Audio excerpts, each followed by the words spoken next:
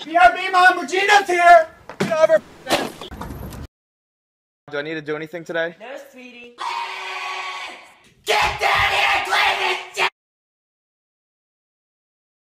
No, because we were at the store and we were looking for you. I saw you running. I called you. I was getting apples and you. Shh. Shh. Then. Oh, hell no. Who was that? Yeah, who said that?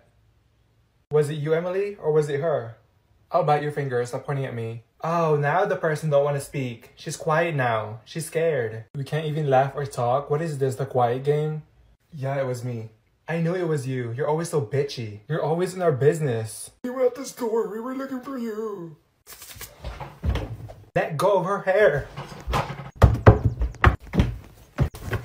Best friend, throw her up the wall. What is she, the Incredible Hulk?